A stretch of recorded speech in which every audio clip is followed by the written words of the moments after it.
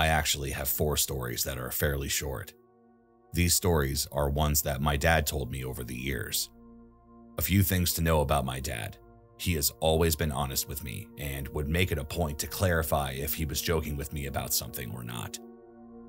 When I asked him if he was kidding about these stories, he would raise his right hand and state on his life that it's the truth. He's in his late 60s now, and these stories have stuck with me, albeit some details might be a bit hazy as it's been a few years since I've heard the stories. The titles are loosely based on what he told me before getting into them. Without further ado, here they are. Something in Crescent Lake. When my dad was growing up, he lived in Oregon State. He had just finished his senior year of high school and he was job searching. He had a group of friends that he usually would hang out with. One of them had just finished restoring a hydroplane with his dad and his younger brother. Being it was the start of summer, the three of them decided to go test it out on Crescent Lake. They would be gone for two days. However, the only guy that my dad knew came back. Word spread out across the town of the missing father and the younger teenage boy. There was a police investigation and everything. Unfortunately, it got to a point where local police couldn't do anything more. Once it did get to that point, the Navy actually got involved, as they believed it was now a recovery mission in the lake itself. They had a dive team come in to scan the entire bottom. They even brought in a submarine. The lake is very deep However, nothing was found of any wreckage or bodies. The search was shortly ended after a member of the dive team came back up from the lake only a couple of minutes into his dive. Apparently, in the newspaper, it was recorded that the diver said that he refused to go back into the dark depths of the lake because, quote, there was something huge down there, end quote. The man and the boy were never found. Neither was any wreckage from the hydroplane. I've tried multiple times to find any record of this happening, but this happened 50 plus years ago in a small Oregon town. And Google searches don't yield any results, unfortunately. Two suns over the hills. My dad eventually moved up to Washington state some years later after moving from Oregon to Idaho. He was living in eastern Washington playing music professionally there are a lot of very large hills and valleys between them where you will see most of, if not all, the towns and cities that are residing there. On this particular day, my dad was driving with a friend from eastern Washington to western Washington to play a gig. It was midday, and my dad was driving with his friend in the passenger seat. They were laughing and joking around when my dad noticed a large bright light come over the hill in the distance. He described it as being a ball of light that was almost as bright as the sun. It came up over the hill, hovered for maybe about five seconds, and then shot up into the sky and disappeared simultaneously. My dad turned to my friend, who was looking out the passenger side window, and asked, Did you see that? His friend turned to him and simply asked, What? Which obviously clued my dad off to he hadn't seen it. My dad simply shook his head and said, Never mind, and continued driving.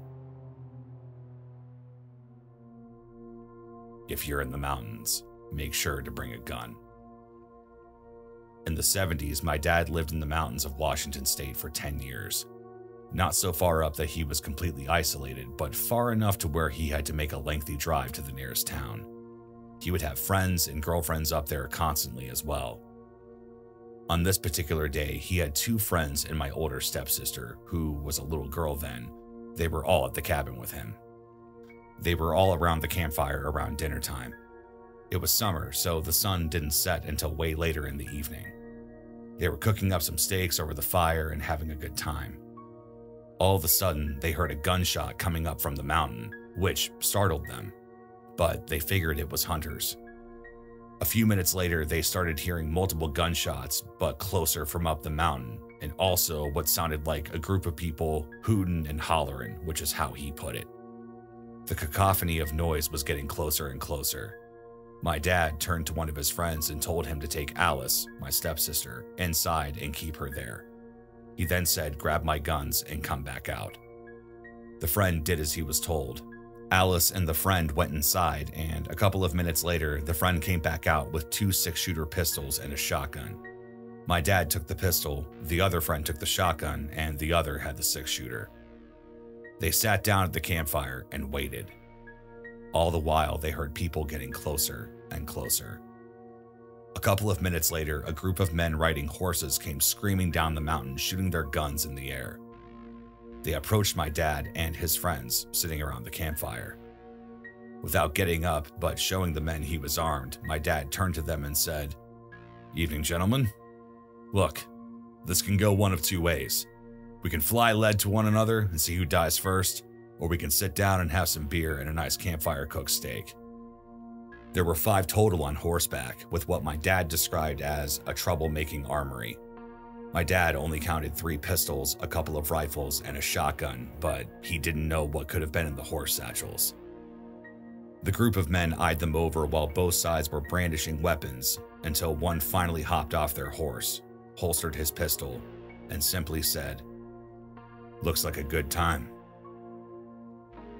The rest followed suit, and they all calmed down and had dinner together. My dad took my stepsister into town to grab dinner after the men left. He describes that as the scariest moment of his life, but he had to stay firm and strong not only because his friends wouldn't, but also to protect his daughter. What stays up in the dance hall loft? In the 80s, my dad had a gig where he would play at a dance hall in Western Washington every weekend. Things were fine for the first couple of weeks with no incident. They would show up, grab their gear from the loft, set up for the night, and then put everything back up there after the show. It's important to note that this dance hall was basically out in the middle of the woods of Western Washington. It's since been torn down, though. Anyways, one weekend, my dad and a couple of bandmates got there early to set up as usual. When they walked in, they noticed that the kitchen that was on the other side of the building, opposite of the stage and the loft, was completely torn asunder. Plates and glasses smashed, pots and pans everywhere, food and liquids all over the floor and counters. They all thought that the place must have gotten broken into somehow and was robbed. My dad and one of the bandmates went up to the loft to check on their gear, while another bandmate went to a payphone to call the owner.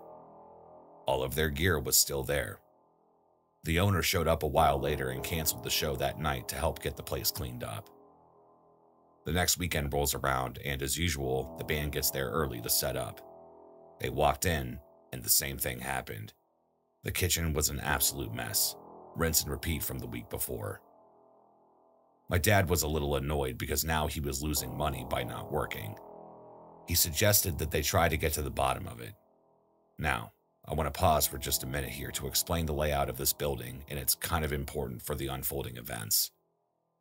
The main entrance was on the long side of the building at the front. A few windows out front as well, with a long driveway that led up to the parking.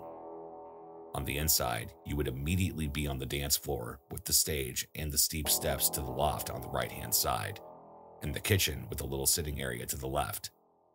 In the loft, there was a door that was up on its level about 20 to 25 feet off the ground on the back of the building. It faced the woods, and it looked just like the front door to any house. This was for a pulley system above the door so large, heavy things could be hoisted up there without having to use the very steep incline of the stairs that led up. Back on track now, they decided to split up and check the building. A couple of guys, including my dad, went to the kitchen to look around, and then outside with a couple of others that went up to the loft. About five minutes after my dad started looking around the kitchen to see if anything was taken, he heard one of his bandmates scream from up in the loft, followed by a loud crash and a couple of loud bangs. My dad and the guy he was with ran over to the stairs. Once they got up there, the bandmate they heard scream appeared to be fine, besides picking himself up off the floor, and he was ghost white. The door to the outside was wide open, and it smelled like a skunk had just sprayed everything up there. The next thing they noticed was that there was a secondary normal sized door that was rather close to the one that leads outside, and it was open. This was a rather good sized closet that ran the width of the building, which the stage faced away from, and they didn't even know it was there. They looked down from the door outside and saw that thin birch trees that made up the forest surrounding the hall had been broken in a straight path for some distance before stopping. The owner, who had been searching on the outside, was also standing at the bottom of the door, pale ghost white like my dad's bandmate was. They finally asked what the hell happened, and all they could say was that something big and hairy just jumped down from the loft door and ran through the trees. It almost jumped on top of the owner, and it was huge. The collective band then took turns looking into the closet space behind that secondary door.